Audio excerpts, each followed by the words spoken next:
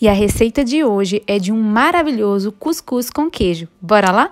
Para nossa receita, vamos precisar de farinha de milho flocada.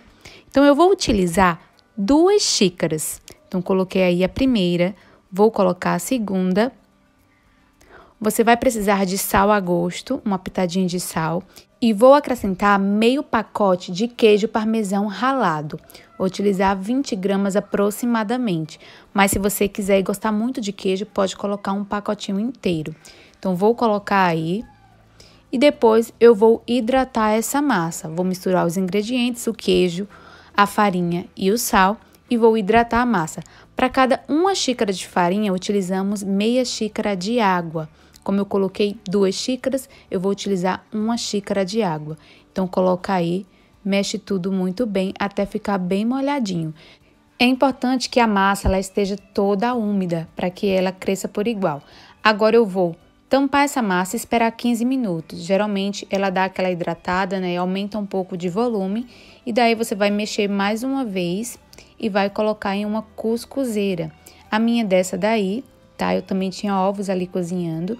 E se você vai colocar a massa do cuscuz sem apertar, tá? Não pode apertar a massa do cuscuz, senão o cuscuz fica duro. E daí você vai ligar a cuscuzeira e vai esperar aproximadamente 10 minutos ele tá cozinhando aí no vapor. E eu gostaria de fazer uma pergunta para você. Você já comeu cuscuz? Responde aqui embaixo para mim. Agora eu vou tampar aqui a cuscuzeira e vou esperar o vapor. E se você não tiver cuscuzeira, eu já ensinei a fazer cuscuz com um pano de prato, tá? É bem simples também, vou deixar aqui no card. E daí, quando começar a cheirar, né, a gente já sente aquele cheirinho do cuscuz pela casa inteira, eu abro, ó, toca assim no meio, vejo que ele tá bem fofinho e desligo.